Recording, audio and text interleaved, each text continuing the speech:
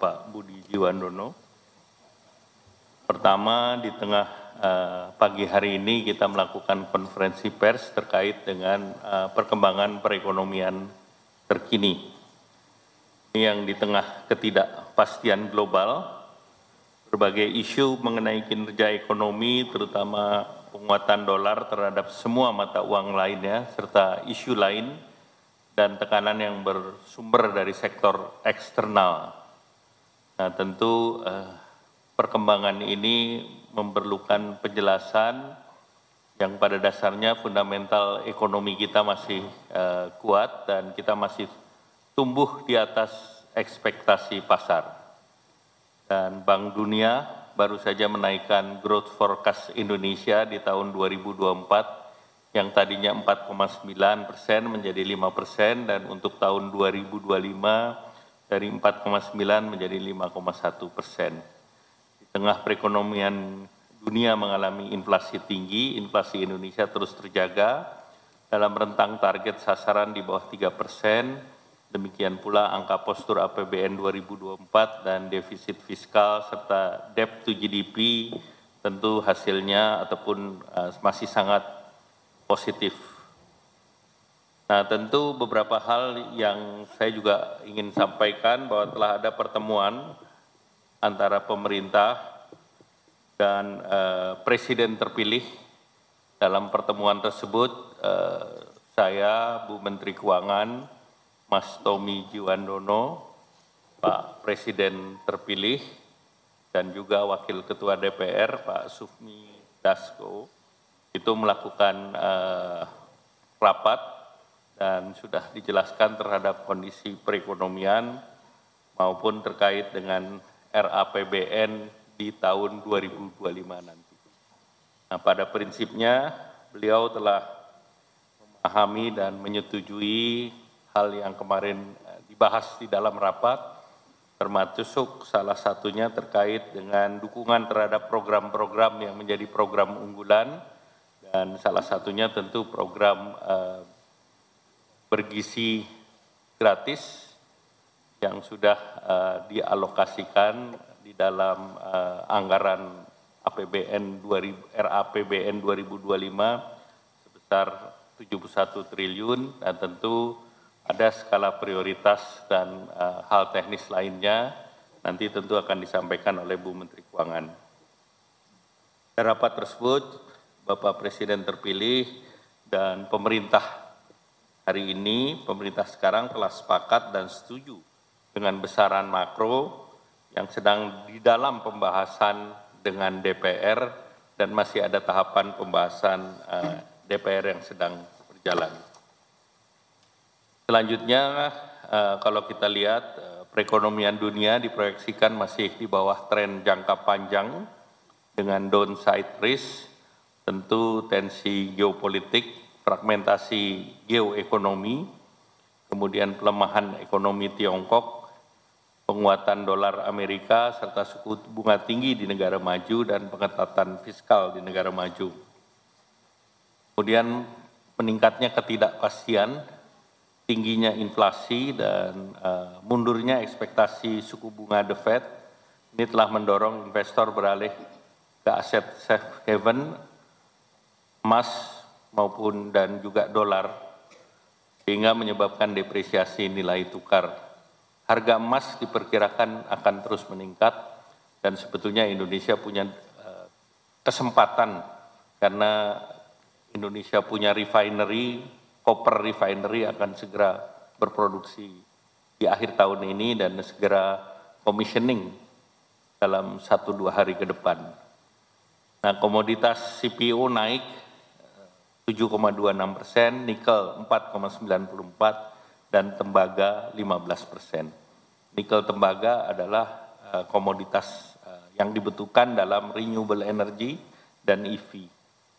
Nah, ekonomi Indonesia sendiri di triwulan 1 tumbuh 5,11 persen, ini lebih tinggi dari triwulan uh, yang di tahun yang lalu, dan lembaga rating juga memberikan asesmen positif bahwa ketahanan ekonomi tetap terjaga dan pertumbuhan ekonomi di, diikuti dengan perbaikan ketenaga kerjaan di mana jumlah penduduk bekerja bertambah 3,55 juta orang dan pengangguran berkurang sebesar 0,79 juta orang dan proporsi pekerjaan formal meningkat menjadi 40,83 persen, inflasi sebesar 2,84 dan uh, ini dalam rentang yang sesuai dengan APBN. Tentu hal ini uh, akan mendorong uh, Indonesia menjadi tetap terjaga dan pertumbuhannya pertumbuhan yang positif. Kalau istilah Pak Presiden pertumbuhan yang segar tumbuh positif, inflasi di, di bawah pertumbuhan di bawah uh, pertumbuhan ekonomi. Sektor real juga baik, PMI di level ekspansif di atas 50 selama 33 bulan berturut-turut. Demikian pula dengan uh, indeks keyakinan konsumen ini juga tetap tinggi di angka 125,2 dan juga indeks penjualan tetap tumbuh angka 4,7.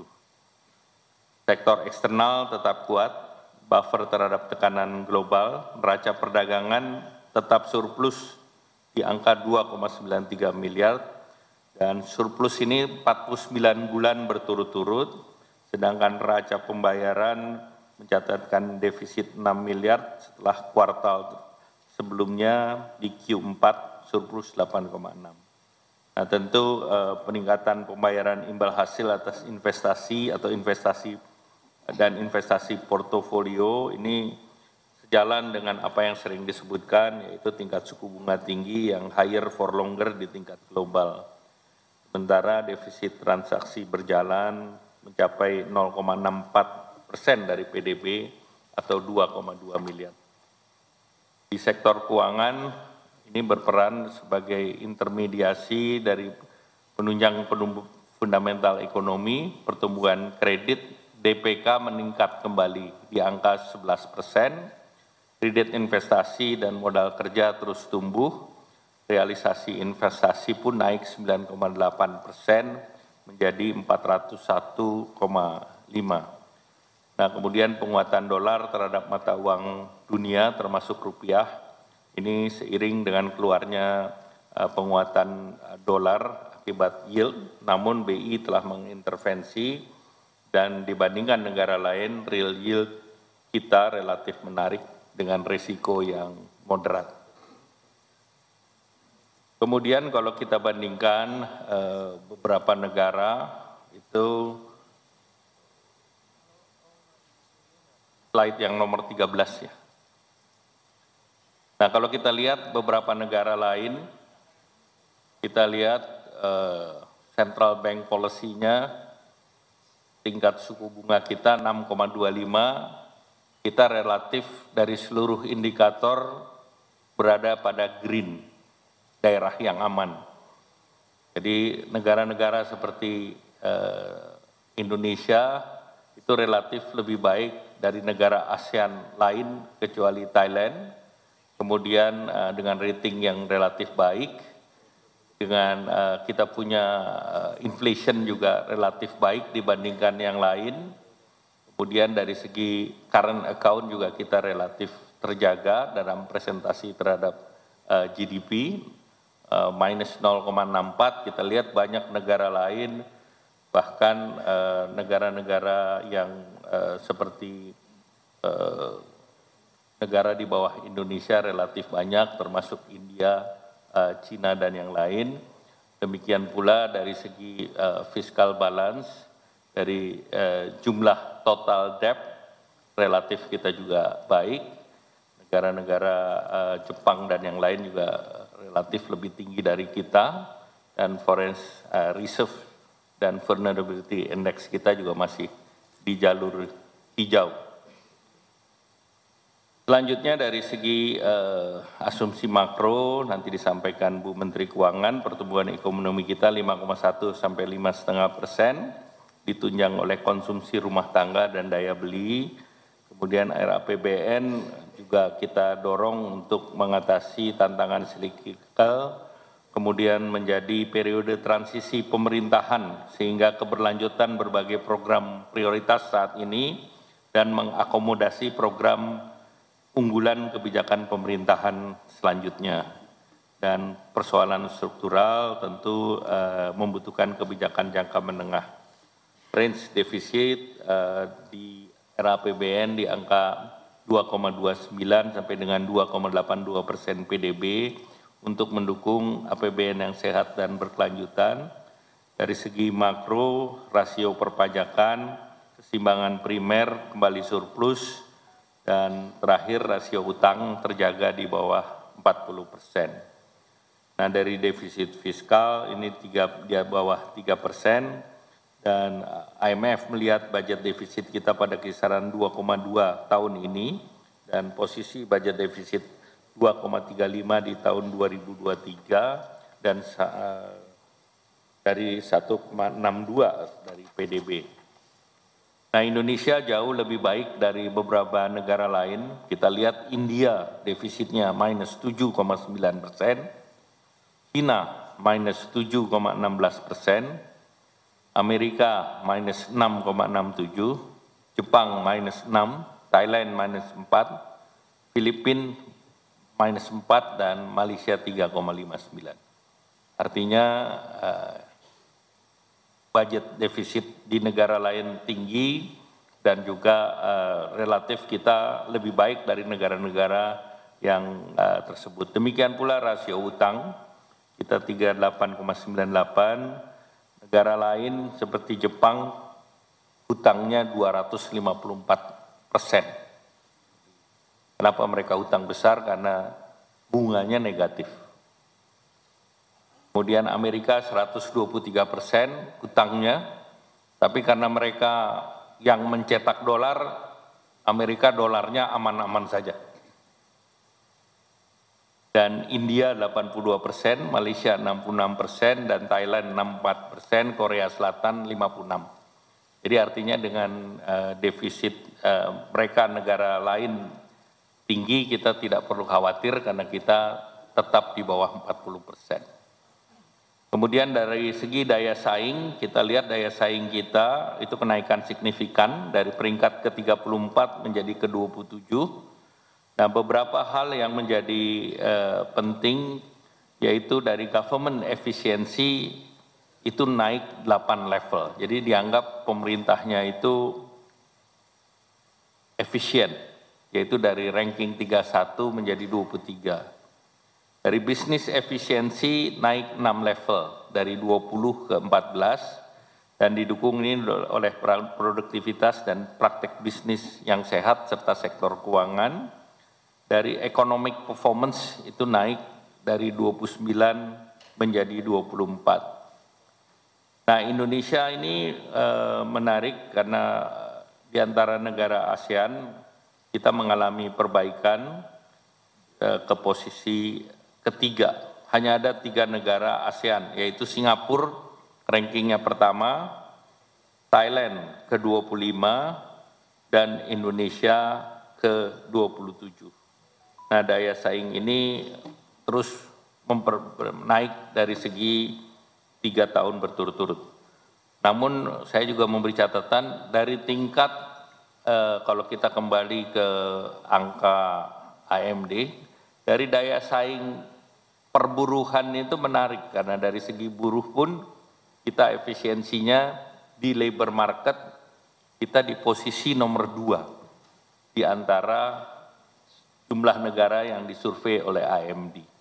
Jadi labor market kita relatif sudah baik. Kemudian eh, kita juga melihat bahwa kebijakan makro, reform birokrasi, anggaran prioritas belanja, perangkat hukum, dan sumber pertumbuhan ekonomi dan kesempatan kerja kita bisa jaga.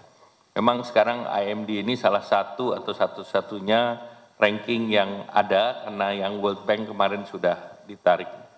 Dari uh, indikator tersebut uh, kami optimis bahwa kita bisa menjaga keseluruhan berbagai rasio, baik itu pajak, keseimbangan primer, defisit budget maupun utang dan tentunya eh, Indonesia dalam proses masuk menjadi anggota OECD akibat leadership dari Bapak Presiden Pak Joko Widodo, ini kita sangat uh, dihormati dalam pergaulan negara-negara di global. Selanjutnya kami persilakan Ibu Menteri Keuangan. Terima kasih Pak Menko. Pak Menko, Mas Tommy, Mas Budi, dan teman-teman wartawan. Assalamualaikum warahmatullahi wabarakatuh. Selamat pagi dan salam sejahtera untuk kita semua. Om Swastiastu, Namo Buddhaya, salam kebajikan. Teman-teman wartawan, hari ini kita bersama Pak Menko dan Mas Tommy dan Mas Budi akan menyampaikan mengenai sebetulnya ini adalah orkestrasi di dalam rangka untuk memberikan kejelasan dari proses transisi terutama berkaitan dengan kebijakan ekonomi dan uh, eh, APBN. Karena ini akan menjadi salah satu pusat perhatian dari banyak sekali uh, pihak atau stakeholder yang harus terus kita jaga. Oleh karena itu, uh, penjelasan mengenai perkembangan ekonomi dan terutama di dalam pelaksanaan APBN dan penyusunan APBN RAPBN 2000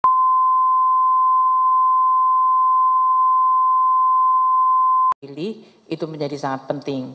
Dan tujuan kita hari ini adalah memberikan penjelasan atau clarity ini supaya tidak terjadi berbagai versi simpang siur yang muncul di masyarakat yang kemudian menimbulkan uh, berbagai pertanyaan. Pertama mengenai kondisi perekonomian, kita semuanya sudah memahami bahwa kondisi perekonomian masih sangat dipengaruhi oleh environment global dan tentu di dalam negeri. Kalau dari sisi global, ini yang sudah sering saya sampaikan trendsetter yang besar seperti masalah climate change, perkembangan teknologi terutama artificial intelligence, dan juga perubahan demografi, aging population di banyak semua negara, itu akan menjadi salah satu fundamental trend yang harus terus kita perhatikan. Di sisi lain yang sifatnya adalah lebih cyclical dan temporal namun juga akan banyak mempengaruhi arah yaitu tensi geopolitik yang ini juga kami sampaikan tidak hanya masalah militer atau keamanan, namun geopolitik memberikan imbas kepada supply chains dan bahkan proteksionisme. Jumlah measure atau langkah-langkah untuk proteksionisme itu naik dari 90 ke 300 measure seluruh dunia terutama dari negara-negara yang geopolitiknya saling bersaingan.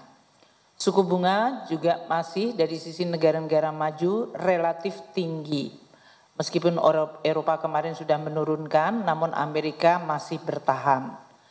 Pertumbuhan ekonomi mengalami stagnasi, cenderung uh, stagnan lemah, dan negara-negara di seluruh dunia policy space-nya menjadi terbatas setelah terjadinya COVID dan sesudah terjadinya COVID pemulihan ekonomi tidak berjalan secara setinggi seperti yang diharapkan. Ini menyebabkan banyak negara-negara di dunia mengalami policy space yang sangat terbatas.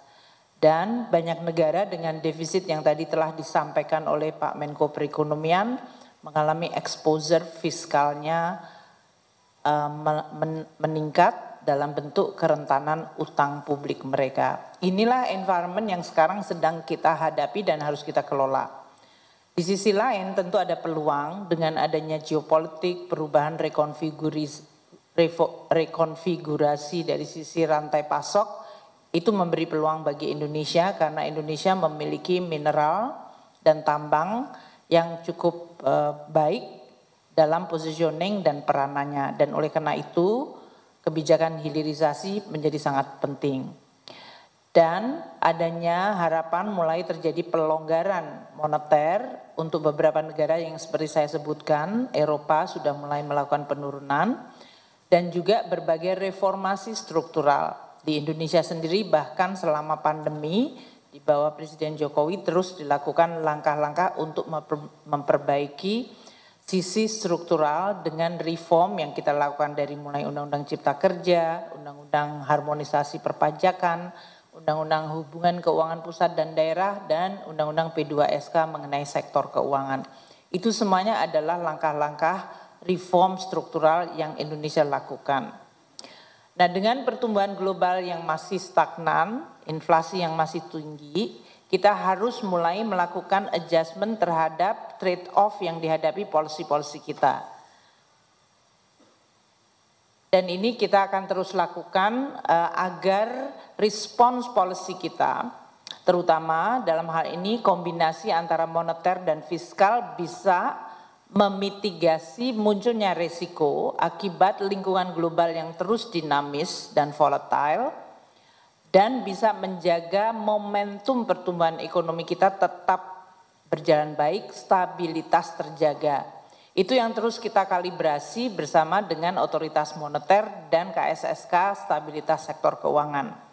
Karena perekonomian pasti membutuhkan stabilitas makro dan stabilitas sektor keuangan untuk bisa meneruskan uh, tujuan kita untuk mencapai negara maju pada tahun 2045. Oleh karena itu kalau kita lihat dengan pertumbuhan ekonomi Indonesia yang terjaga dan inflasi rendah, kita tetap memperhatikan terutama inflasi di sektor makanan. Karena ini akan mempengaruhi sekali daya beli masyarakat dan mempengaruhi komponen konsumsi yang menjadi uh, pendukung dari pertumbuhan ekonomi sekitar 55 persen. Maka nanti akan saya sampaikan langkah-langkah fiskal untuk bisa menjaga daya beli masyarakat uh, dan di sisi lain juga bersama dengan Bank Indonesia melalui kebijakan moneternya. Seperti teman-teman wartawan ketahui, pertumbuhan ekonomi sampai dengan kuartal 1 kita di 5,11. Ini termasuk pertumbuhan yang resilient di level yang tinggi. Karena banyak negara yang sesudah mengalami kenaikan suku bunga oleh Federal Reserve sejak tahun 2022, pertumbuhan ekonominya mereka mengalami perlemahan yang cukup signifikan. Jadi Indonesia berturut-turut uh, lebih berapa itu 12 kuartal kita tetap dalam pertumbuhan sekitar 5 persen pasca pandemi ini adalah sesuatu resiliensi yang cukup baik dan harus dipertahankan. Kita terus memonitor berbagai faktor yang menunjukkan sentimen untuk mendukung pertumbuhan ekonomi ini dari mulai optimisme masyarakat dari sisi uh, consumer confidence, Mandiri Spending Index, semuanya masih di dalam resiliensi level atas. Kalau ada fluktuasi pergerakan itu kita juga perhatikan, namun kalau kita lihat dari sisi level mereka masih pada level yang tinggi. PMI Indonesia masih dalam zona ekspansif, konsumsi listrik kita sesudah awal tahun kemarin terutama yang untuk industri sedikit mengalami penurunan, negatif sekarang sudah ada di zona positif lagi di 1,8 persen. Untuk bisnis juga masih resilient di level di atas 8 persen. Ini cukup baik karena berarti dengan konsumsi listrik aktivitas ekonomi berjalan. Demikian juga dengan konsumsi semen yang di awal tahun kemarin sempat mengalami penurunan, konstruksi sudah mulai berjalan lagi dan sekarang tumbuh 11,2 Penjualan real, eh, penjualan real kembali tumbuh menguat dengan indeks eh, 4,7 persen year on year. Namun resiliensi dalam negeri ini tidak terbebas dari ujian lingkungan global yang berubah. Pasar keuangan global memang mengalami sentimen yang cukup turbulence. Ini diakibatkan karena posisi Federal Reserve yang tetap mempertahankan suku bunganya. Anda lihat level dari Federal Reserve Policy Rate ada di 5,5 persen. Ini adalah level yang sangat tinggi kalau dibandingkan tahun 2022 yang waktu itu masih pada level di bawah satu persen. Jadi kenaikan hanya dalam waktu 24 bulan dan bertahan cukup lama berbagai harapan ekspektasi market agar Fed fund rate turun ternyata akhir-akhir ini komunikasi dari FOMC menunjukkan bahwa suku bunga ini akan tetap dipertahankan tinggi hingga akhir tahun. Kalaupun ada penurunan mungkin hanya satu kali. Bayangkan tadinya ekspektasi market akan terjadi penurunan suku bunga tahun ini paling tidak antara 4 hingga 6 kali. Ternyata tidak terjadi. Ini yang menimbulkan turbulensi karena market harus melakukan adjustment terhadap ekspektasi mereka, terutama pada bulan-bulan April, dan kemudian bulan Mei ini. Dari sisi equity index Bloomberg juga menunjukkan bahwa ada perbaikan namun masih ada volatilitas yang membayangi. Dan tadi disampaikan oleh Pak Menko Perekonomian dengan suku bunga Fed Fund Rate masih di 5,5 bertahan dan kemungkinan hanya akan satu kali saja menurun atau di, dilakukan penurunan, ini menyebabkan dolar indeks meningkat. Di graf paling sebelah kanan kelihatan yang orange, dolar indeks adalah yang menguat di 102,18. Lawannya mata uang dari negara-negara lain kemudian mengalami perlemahan dan kita lihat Indonesia yang merah di 95,22. Banyak negara-negara terutama di Latin Amerika yang mengalami perlemahan mata uang jauh lebih dalam. Ini adalah sesuatu yang mungkin kita harus karena sebagai emerging market kita biasanya digrupkan atau dikelompokkan dalam emerging market. Indonesia selama ini selalu mampu membedakan diri dengan emerging market supaya kita tidak terkena stigma sebagai emerging market yang vulnerable. Ini penting di dalam pengelolaan dan juga komunikasi serta eksekusi kebijakan fiskal dan kemudian moneter untuk menjaga stabilitas uh, makro kita. Pasar keuangan global yang mengalami tekanan terlihat dari sisi capital flow dan itu mempengaruhi currency, equity, dan bond yield ini tiga indikator yang kita terus monitor dan waspadai. Dan pasti mempengaruhi kinerja APBN yang sedang berjalan, yaitu APBN 2024. Bank Indonesia mengeluarkan surat eh, berharga Bank Indonesia SRBI dan kita lihat mampu menarik capital inflow lagi karena pemerintah yield dari surat berharga negara kita masih relatively tidak mengalami kenaikan. Dan ini berarti kita akan terus bersama Bank Indonesia mengelola antara stabilitas harga yaitu inflasi, stabilitas nilai tukar exchange rate dan stabilitas dari yield dari surat berharga negara. Ketiga ini tiga-tiganya sama-sama penting dan terus kami bekerja sama antara otoritas fiskal moneter, agar ketiganya tetap terjaga relatif stabil. Kalau saya bicara relatif karena environment yang bergerak dan tekanan memang tidak mungkin kita tidak terkena dampaknya tapi dampak ke Indonesia relatif manageable dan kecil. Kita lihat salah satu eh, indikator atau situasi emerging market yang memang terlihat di salah satu artikel Financial Times disebutkan emerging market currency suffer worst start to the year since 2020. Ini menggambarkan negara-negara emerging terutama Latin Amerika mengalami koreksi yang sangat dalam. Kita lihat seperti Brazil, Meksiko, Chili, itu bahkan Chili yang selama ini merupakan negara yang relatively performance-nya sangat bagus di Latin Amerika juga mengalami koreksi termasuk Kolombia dan kemudian negara Eropa emerging seperti Hungary atau Hungaria eh, dan kemudian kita bandingkan dengan Indonesia, Korea maupun Thailand. Kalau kita lihat di sini pergerakan emerging market yang memang sangat cukup besar dalam tahun 2024 diakibatkan oleh kecenderungan tadi suku bunga tinggi, harga komoditas yang volatile rendah, atau korektif terhadap tahun 2022-2023 dan kemudian capital outflow yang menyebabkan depresiasi terhadap nilai tukar dan pergerakan yield. Kita lihat Indonesia dibandingkan negara-negara yang disebut atau dalam hal ini emerging market yang dianggap prominent, Indonesia masih relatively dalam kondisi yang resilient. Depresiasi nilai tukar kita memang mengalami 6,5 dibandingkan negara-negara lain itu relatively comparable atau lebih baik. Yield surat berharga negara kita yaitu surat utang negara kita juga mengalami kenaikan tapi dibandingkan negara-negara lain yang lonjakannya sangat tinggi ini juga relatif stabil.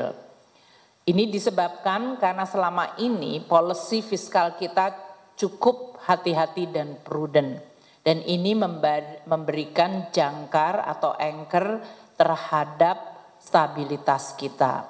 Dari sisi pertumbuhan ekonomi Indonesia juga relatif resilient tinggi, inflasi kita relatif rendah, debt to GDP ratio maupun defisit tadi yang disampaikan oleh Pak Menko Perekonomian, Indonesia dalam posisi yang relatif prudent, uh, hati-hati. Nah, APBN 2024 tidak terlepas dari kinerja ini dari lingkungan global yang berubah sangat besar. Ada dari sisi harga minyak, yield, exchange rate, dan juga kemudian mempengaruhi kinerja dari perusahaan-perusahaan. Kita lihat pendapatan negara sampai dengan akhir Mei seperti yang saya sampaikan dalam konferensi pers mengenai ALCO memang mengalami tekanan yaitu growth-nya negatif 7,1 persen. Terdiri dari penerimaan pajak yang mengalami kontraksi 8,4, ini terutama perusahaan-perusahaan dengan harga komoditas atau perusahaan-perusahaan mining di Indonesia maupun CPO, mereka mengalami koreksi dari sisi kinerja perusahaannya untuk tahun 2023 yang dilaporkan pada bulan April yang lalu. Dan kita melihat koreksinya sekitar 8,4 persen dari sisi penerimaan pajak. PNBP kita juga mengalami penurunan 3,3 lagi-lagi karena sumber daya alam yang merupakan penerimaan yang cukup besar dari PNBP. Kemudian untuk kepabeanan dan cukai mengalami kontraksi 7,8 persen. Ini situasi yang sedang berjalan di 2024. Oleh karena itu, kami terus melakukan langkah-langkah bersama kementerian lembaga dan pemerintah daerah dari sisi transfer agar kita tetap menjaga prioritas pembangunan dan pertumbuhan ekonomi namun tidak membuat APBN menjadi sumber vulnerabilitas.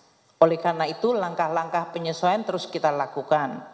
Dalam hal ini, bulan Mei ini primary balance kita masih surplus 184,2 triliun rupiah. Ini masih sangat tinggi surplus dari primary balance. Overall balance kita sudah mengalami defisit 21,8 triliun atau 0,1 persen. Seperti diketahui oleh teman-teman wartawan, kalau lihat dan baca tabel ini APBN 2024 adalah terlihat pada kolom nomor 4 dari sebelah kanan, yaitu yang ditulis APBN 2024. Itu adalah APBN yang didesain oleh pemerintah dan disetujui, disetujui DPR untuk kita laksanakan tahun 2024 ini. Di mana postur 2024 defisitnya adalah 2,29 persen dari GDP. Jadi kalau sekarang masih 0,1 persen, ini kita masih relatif on track dengan total overall balance tahun ini yang menurut R Undang-Undang APBN 2024 adalah didesain dengan defisit 2,29 persen. Nah, belanja pemerintah akan terus dipusatkan dengan situasi dan tekanan yang muncul untuk semaksimal mungkin memberi manfaat pada masyarakat. Kami terus akan menyampaikan belanja yang langsung dinikmati manfaatnya oleh masyarakat dari mulai perlinsos seperti program PKH kita sudah mencairkan 14,2 triliun untuk 10 juta kelompok penerima manfaat. Kartu sembako sudah kita bayarkan 22,3 triliun untuk 18,7 juta kelompok penerima manfaat. Untuk program pendidikan dari program Indonesia Pintar, ini artinya 9,5 juta siswa mendapatkan beasiswa 7,1 triliun, program Kartu Indonesia Kuliah 813,7 ribu mahasiswa mendapatkan beasiswa 6,7 triliun, biaya operasi sekolah baik yang pendidikan di bawah Kementerian Agama maupun di bawah Kementerian uh, Pendidikan yaitu melalui pemerintah daerah. Untuk Kementerian Agama 5,2 triliun dengan jumlah siswa 4,6 juta. Kemudian biaya operasi untuk perguruan tinggi 875 miliar. Kita juga memberikan bantuan untuk jaminan kesehatan negara untuk 96,7 juta peserta yang preminya PBI-nya kita bayar di BPJS Kesehatan sebesar 19,3 triliun sudah kita cairkan. Kemudian subsidi energi baik untuk BBM, LPG, listrik itu semuanya tetap kita jaga. Kita sudah membelanjakan 6,6 triliun plus 26,8 triliun untuk LPG 3 kilo. Dan juga bantuan termasuk bantuan beras, alat pertanian, subsidi pupuk, dan bantuan UMKM dalam bentuk subsidi bunga untuk 2 juta debitur. Ini semuanya dengan total 640,9 triliun hingga akhir Mei sudah kita cairkan pada tahun 2024.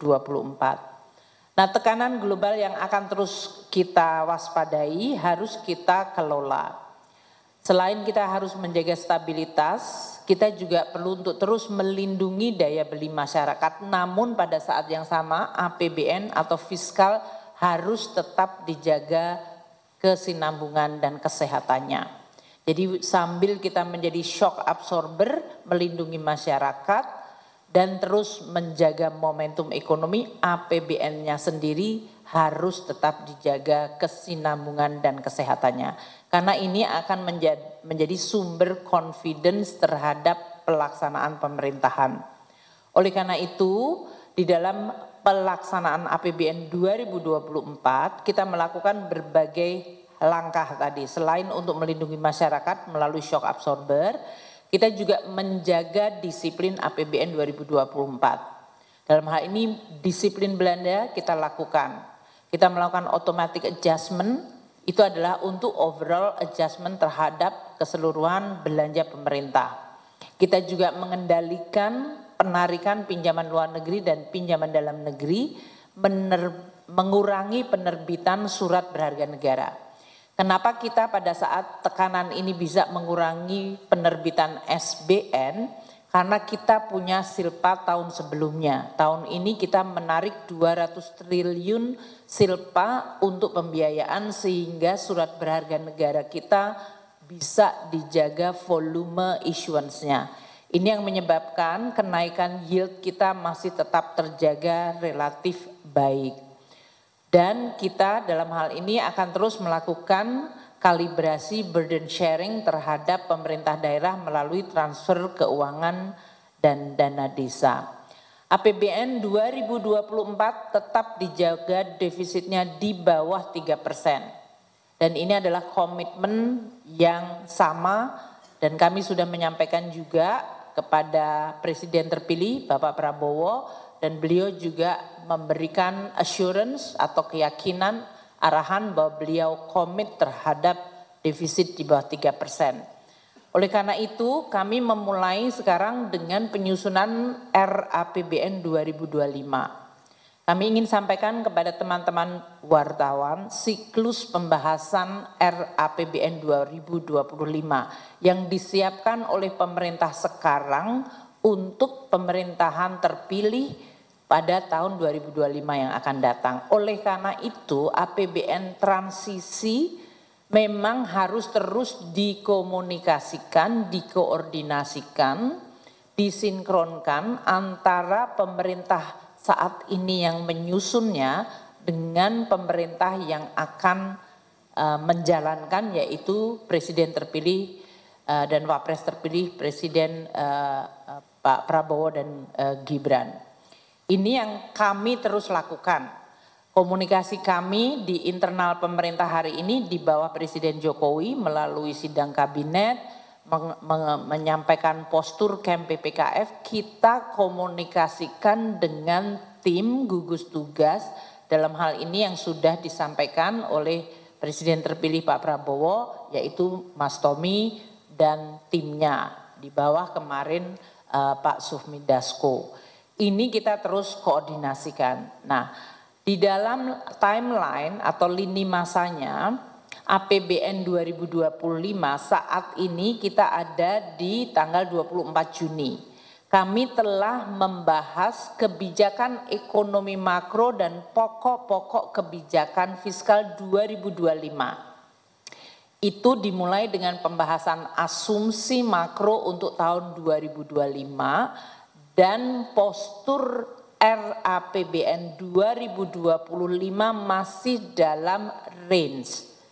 Nah, sampai dengan minggu lalu Panja Badan Anggaran sudah menyepakati mengenai range dari fiskal postur 2025 yang nanti saya akan sampaikan.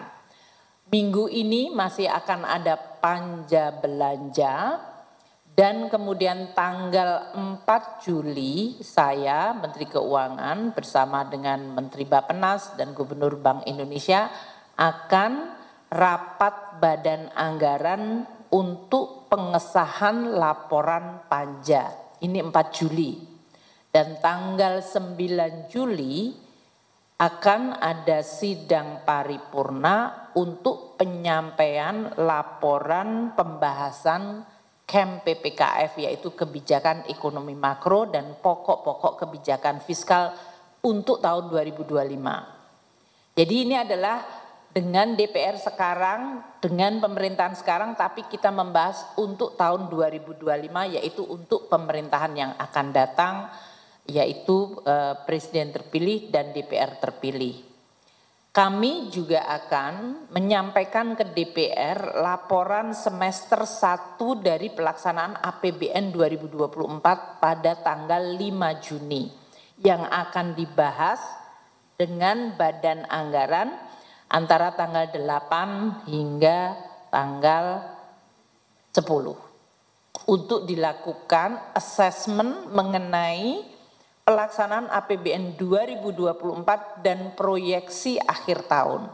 Yang ini nanti dijadikan baseline, landasan bagi penyusunan RAPBN 2025. Nah, siklus anggaran ini kami koordinasikan dan komunikasi dengan tim yang sekarang ini ditunjuk oleh presiden terpilih.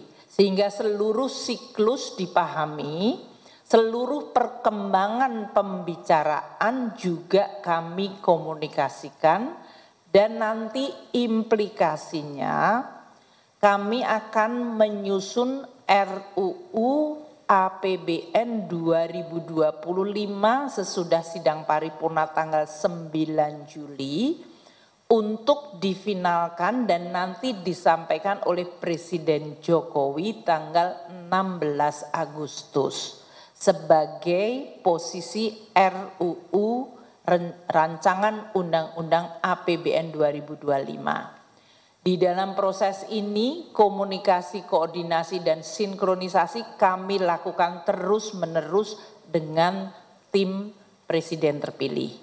Ini untuk menunjukkan bahwa tidak ada gap antara RUU yang kita susun di bawah Presiden Jokowi dengan program prioritas yang ingin dan akan dilaksanakan oleh pemerintahan baru di bawah Presiden terpilih yaitu Bapak Prabowo.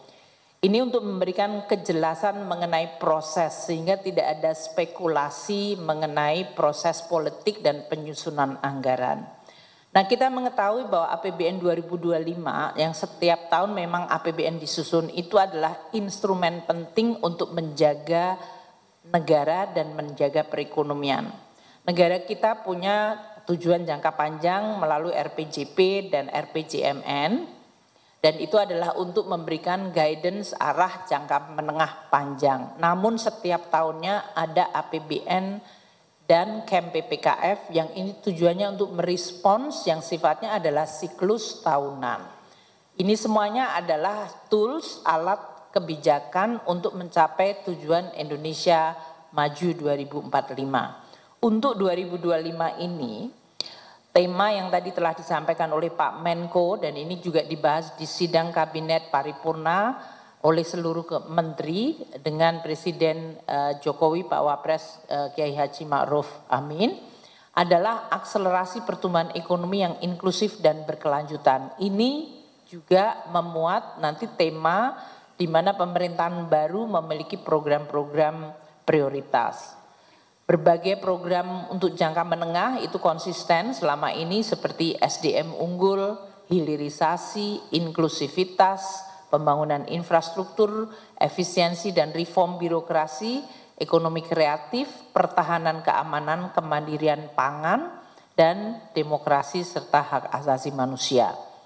Untuk program jangka menengahnya, prioritas pendidikan bermutu termasuk program makanan bergizi gratis, penguatan mutu sekolah termasuk dalam hal ini perbaikan fasilitas sekolah dan sekolah unggulan, ini yang disampaikan oleh pemerintah baru, kesehatan yang berkualitas, reform biro, eh, dari sisi kesehatan terus dilakukan dan JKN, serta program pengentasan kemiskinan, pemerataan, serta menjaga pertumbuhan ekonomi yang tinggi dan berkualitas.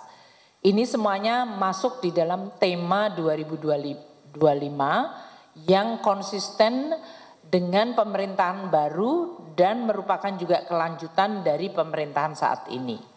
Nah, untuk kami sampaikan kepada teman-teman media dan kepada uh, seluruh stakeholder sampai dengan minggu ini kesepakatan antara pemerintah dengan DPR mengenai postur 2025 adalah sebagai berikut. Dan ini masih akan nanti disahkan pada 4 Juli dengan Badan Anggaran dan sidang paripurna 9 Juli. Sampai dengan hari ini pertumbuhan ekonomi yang disepakati tahun depan 2025 adalah antara range 5,1 hingga 5,5 inflasinya 1,5 hingga 3,5 persen, nilai tukar antara 15.300 hingga 15.900, suku bunga 6,7 hingga 7,2, dan harga minyaknya adalah 75 hingga 85 dolar per barel, lifting minyak 580 ribu dan 605 ribu eh, barel per hari, lifting gas adalah 1 juta 3 ribu hingga 1 juta 47 ribu barel per hari. Untuk indikator pembangunan, tingkat kemiskinan disepakati diturunkan ke 7 hingga 8 persen, kemiskinan ekstrim 0 persen, rasio Gini 0,379 hingga 0,382, tingkat pengangguran terbuka 4,5 hingga 5 persen, indeks modal manusia atau PM, uh, PM PMI ya itu adalah 0,56, nilai tukar petani 115 hingga 120 dan nilai tukar nelayan 105 hingga 108. Postur APBN 2025 yang sudah dibahas di dalam camp PPKF baik asumsi dengan Komisi 11, Komisi 7 untuk harga minyak dan dengan uh, badan anggaran adalah yang ada di bawah. Pendapatan negara di dalam range 12,3 hingga 12,36 persen dari GDP, belanja negara 14,59 hingga 15,18 persen dari GDP, keseimbangan primer antara 0,15 defisit hingga 0,61 persen defisit dari GDP dan defisit antara 2,29 hingga 2,82. Dengan kesepakatan ini nanti kami akan menyusun RAPBN 2025 yang akan disampaikan oleh Bapak Presiden Jokowi kepada sidang paripurna DPR tanggal 16 Agustus. Nah banyak pertanyaan mengenai program prioritas makanan bergizi gratis. Kami telah berkomunikasi dengan Presiden terpilih Bapak Prabowo dan timnya dan ini untuk memberikan clarity mengenai bagaimana makanan bergizi gratis akan fit di dalam RAPBN 2025. Presiden terpilih Bapak Prabowo telah menyampaikan bahwa beliau menyetujui bahwa pelaksanaan program makanan bergizi gratis MBG dilaksanakan secara bertahap. Dan untuk tahun pertama pemerintahan beliau tahun 2025 telah disepakati alokasi sekitar 71 triliun di dalam RAPBN 2025. Nah teman-teman wartawan tadi sudah lihat di dalam slide sebelumnya angka 71 triliun itu ada di dalam range postur defisit 2,29 hingga 2,82. Jadi kembali ke slide selanjutnya. angka 71 triliun bukan merupakan on top di atas itu tapi sudah di dalamnya dan nanti kita akan susun pada saat kita menyusun RUU APBN 2025 yang akan disampaikan oleh Bapak Presiden Jokowi tanggal 16 Agustus. Detail mengenai program makan bergizi gratis ini nanti akan dijelaskan oleh tim dari presiden terpilih. Namun untuk postur APBN sudah kita masukkan dan sudah disepakati oleh Bapak Presiden terpilih yaitu dimulai bertahap dengan anggaran awal 71 triliun. Nah kami di Kementerian Keuangan akan terus menyusun APBN ini melalui proses eh, yaitu di sidang kabinet sendiri di bawah Presiden Jokowi dan Wakil Presiden Kiai Haji Ma'ruf Amin dan Kabinet Paripurna Pak Menko Perekonomian dan seluruh kabinet dan berkonsultasi dengan tim dari Presiden dan Wapres terpilih yaitu Prabowo Gibran. Ini semuanya dilakukan mengikuti siklus APBN yang diatur dalam Undang-Undang Keuangan Negara dan akan dibahas secara transparan dengan DPR untuk mendapatkan persetujuan Undang-Undang APBN.